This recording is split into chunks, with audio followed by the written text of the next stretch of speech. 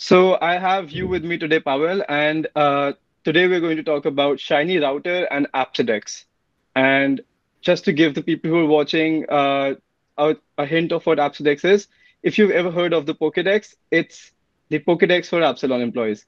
So what inspired Appsidex besides, you know, what seems to be a genuine love for Pokemon? Hi, Deepansh. First of all, it's uh, great to be here. Thanks for inviting me. Um, the Appsidex is well. Before uh, I'm saying what inspired me to do to build the Appsidex, maybe a couple words a couple of words about the app itself. Yeah. So this is the demo application, which purposes to showcase the main features of Shiny Router, as you said, which is one of the open source packages created by Appsilon. However, the app is uh, built uh, also with uh, with the help of other Appsilon packages. Rhino for project structure, Shiny Fluent for the UI. So uh, I like to say that this is also a demo of the Appsilon way of building Shiny apps. Uh, anyway, uh, the name Appsidex, as you precisely said, is the combination of words Appsilon and Pokedex. Uh, and the, I think that this title expresses the purpose of the app really well. So it's just having all Appsilonians at a glance in a very easy, funny, and engaging way. Um, there's a small history behind this app. You see, I joined Appsilon more than a year ago. And at Appsilon, we have this rite of passage uh, called the very first app sprint, which are bench tasks for new hires. And these tasks, these tasks are usually delivered by small teams of one to three, up to three. Well, you know that, obviously, from one to three developers. And in this case, um, it was a team of one, me. And uh, the, the goal of the app sprint was to create some kind of internal tool that would display uh, all the employees at Appsilon. And uh, so the Appsidex version 0.1 was born uh, one year, almost a little bit more than one year ago. Um, and recently, so uh, I've been tasked to create a demo application for Shiny Router, but I also noticed that there's a request to improve the original Appsidex app. And so I just thought this is a very nice opportunity to achieve two goals at once. And honestly, for me, it was a, a very unique experience, uh, almost like a lab experiment. Imagine you have two points in time with almost all conditions being the same. I mean, general idea behind the app, tech stack, deployment infra, etc., and only my expertise being a variable uh, in this in this equation. And it's fascinating to look at my past self, at my present self, and to see yeah. how much I've grown, how much I've changed, uh, and all that kind of stuff. Actually, now that I mentioned it, I think it would be a cool tradition at Appsilon to celebrate your first anniversary with uh, by, by revisiting your very first app sprint or something like that. Yeah, I think that's a, that's a wonderful idea. You know, it's kind of like Pokemon evolution in that you gain the XP and then you know you evolve. It's it's exactly. it, it, it, just works like that. You know. Uh, now that you've mentioned it, you know, uh, and I've of course I've used Appsidex. Uh, so do you think any other organization can also benefit from uh, from something like this, or you know, if they could implement the same thing, probably? Yeah, absolutely. Besides the title, that is, I mean, yeah. if you change the title more suitable to, to, the other organization, I think it absolutely makes sense to have such app. Yeah. Uh, in fact, the rationale behind having this app developed uh, is the ever-growing team of Appsilon, and considering the remote first policy of, of the company, and there are people from across all the globe who all work remotely in such setup, getting to know each other is a big challenge. Uh, so, and hopefully this is what Appsidex is trying to solve. Uh, so anytime I want, I can just go to the app, uh, find a person, maybe even a random person, just you know, as a habit, check out their um, information that they've written about themselves, uh, their location, maybe title, that kind of stuff. Yeah. And uh, I think that Appsidex, being an application, um, well, there's a question do you need a dedicated app for that? And I believe that having it as an app, uh, in particular, the way Appsidex is implemented, uh, is just a more fun and engaging way uh, to learn about the colleagues, uh, than when, when compared to things like Google Doc or even a spreadsheet yeah. Uh, with no images, no maps. And this is just a cool thing to do. Yeah, I think especially in a remote setting, you know, it has to happen that you somehow have to meet people because otherwise you only meet people when you know you you know you're working with them or you end up on a project together. But otherwise, sometimes you spend you know six months and you've never talked to a particular person, and yeah, and that uh, maybe this app, you know, in my opinion, this app completely solves that because how, how I would use it is I would go to the app, check someone's profile out, and I'll be like, hey, I think we have a common interest there. So maybe I can, you know, just shoot them a casual message on Slack. And I think that's something that people could definitely benefit from. Uh, Absolutely. It's it's it's just so great to hear from you this, you know, user adoption. Uh, yeah. it's kind of validation right there, you know. It's like yeah, yeah, yeah exactly. Yeah. So could you describe, you know, Shiny Router for me and what problems, you know, it solves solves for R Shiny in general? Yeah, so we have this Shiny framework, which is a great tool for creating dashboards and web apps. But as we know, it creates single page applications. And if you're trying, for example, to follow the JavaScript world, I say trying because it's literally changing every day.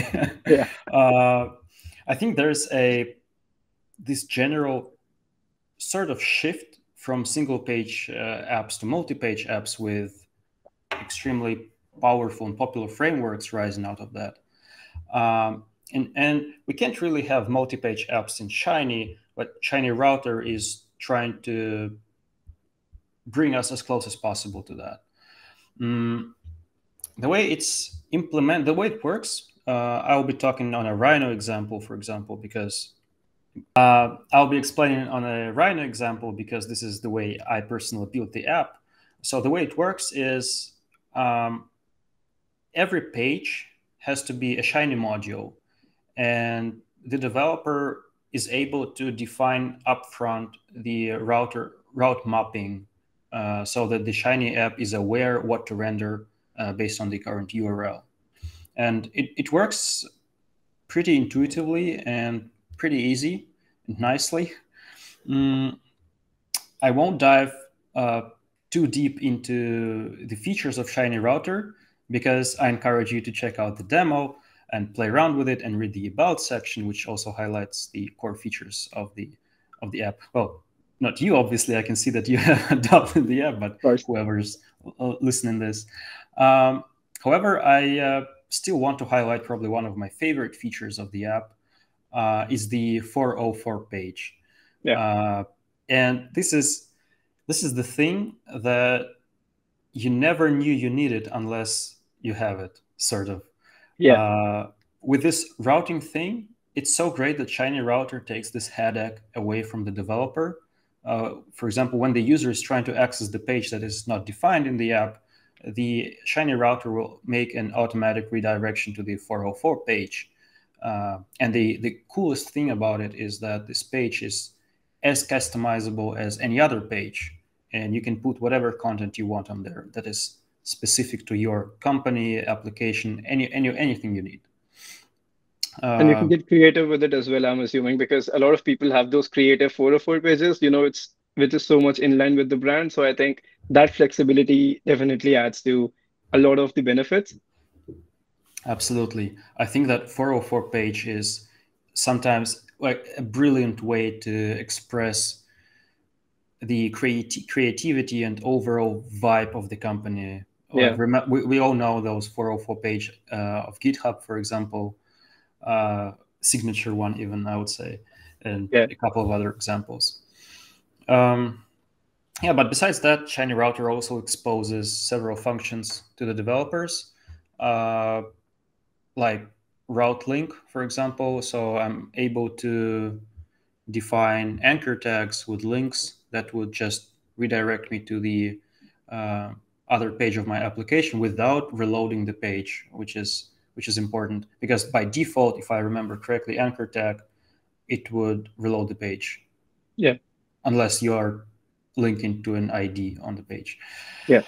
And this is cool. Also, what's cool is that there is a bunch of functions that allow you to control the um, current page programmatically. For example, you can just uh, use the Shiny Observe And inside that, you can check for certain events like a button click or something, and you can change the page programmatically, which gives a lot of um, a lot of control for the developer over the overall uh, user flow, user experience sort of flow through through, through the application.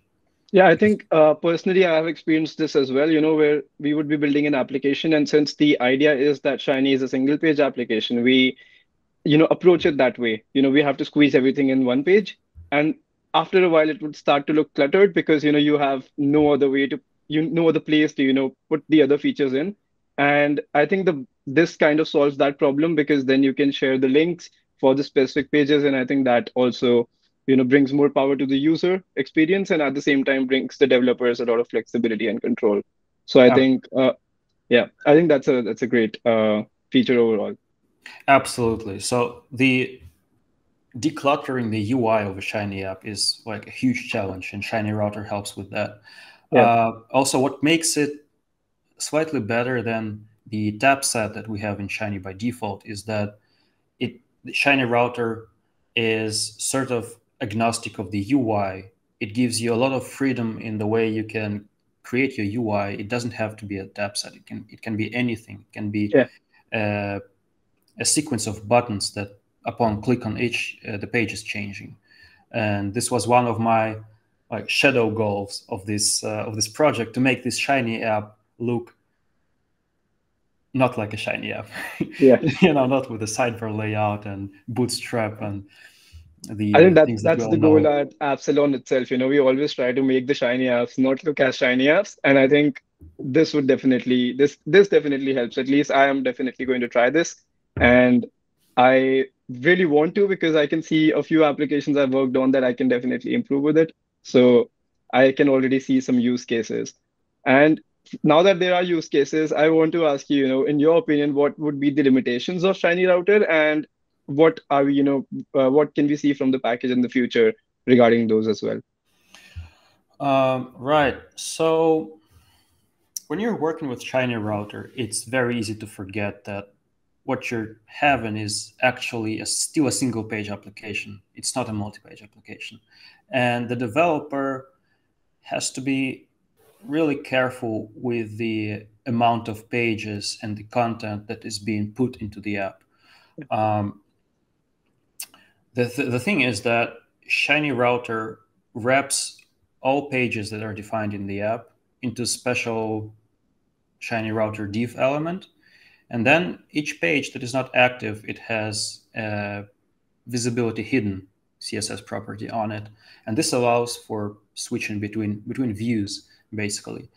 Um, it's good for user experience because the change is on the client side uh, on the css level and it allows for really smooth page transitions you don't have to wait the round trip from client to server from server to client to render the ui for example um, however it also puts a lot of responsibility on the developer as i said because all of those pages, they are rendered upfront when the app just starts.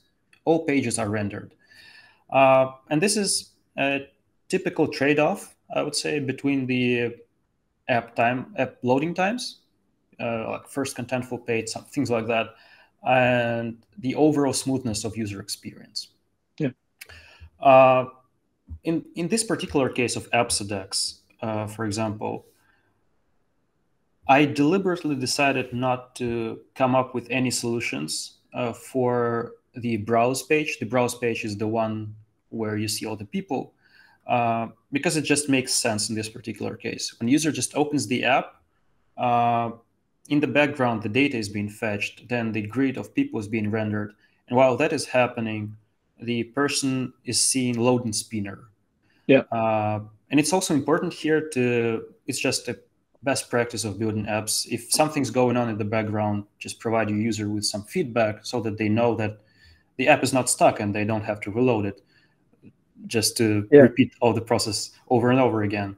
Um, and in this case, it, it just makes sense. So the user is seeing that something's loading, and then the uh, browse button becomes enabled, and they are able to smoothly go to the grid of people. Uh, it wouldn't make sense if uh, for example, I made everything available. I made the button available at the beginning, then the user clicks the button, and then they have to wait. Yeah. So it, it was kind of a choice here. However, the about page uh, is not really that important for the user user flow. Uh, it also contains three GIFs, which take a lot of loading time. They each weigh more than two megabytes, for example. And there's absolutely no need to load them up front. And in this case, it can be solved by adding the display none CSS property. And the way it works is thanks to the original Shiny logic. So Shiny simply ignores anything that has display none yeah. to, to, optimize its behavior. And also HTML itself uh, treats it very nicely. So a combination of display none of the entire page uh, and lazy loading on, on the GIFs allowed for, I don't know, like five, six seconds uh, time reduction of uh. Awesome. Yeah, and, that's that's that's a good trick. Yeah, yeah, thank you. And again, because Shiny Router exposes some of its functions to the developer, I'm simply able to. So there's an observer that checks for currently active uh, page based on the URL. Um, and whenever the about page is active, I programmatically change CSS properties to make it uh, visible. And that's yeah. all. Uh, should this be uh, updated in the Shiny router or not is a big question to me. Uh, the way it works as of today is that each page that is not currently active has a visibility hidden property to it instead of display none. And I think this is a good default behavior uh, because visibility hidden is much less disruptive than uh, display none. Yeah. And it does not interfere with how Shiny works and how render UI function, for example, works. Uh, however, it would be a good move to maybe expose a parameter in a function or something like that to allow people who acknowledge the, the potential problems to allow them to optimize their performance by using this display none. Uh, in my particular case, it worked nicely, uh, but I can easily see situations where it would break things. Something won't render, uh, things like that. But there is, you know, scope to probably add something like this in the future. It's not maybe it's not set in stone, but we'll find a way to, you know, maybe add it in some format, some parameter or something that could help the people. Or you know we can just you know give a warning about it as well i think. But there is a lot of scope in improving the package from what i can see. It's already so powerful and it's so flexible. So i think in general people can start you know using it right now. But i feel there's always scope for improvement you know it's the uh, 80% done 20% is always left to do so it's kind of like that always about software so i think uh, all i all i have to say is this is an amazing app and this is an amazing package thank you so much, Pavel, for you know let, letting me pick your brain about these and with all these questions. And you know, I think I really enjoyed our conversation today. Thank you. Thanks. Thanks, Deepansh.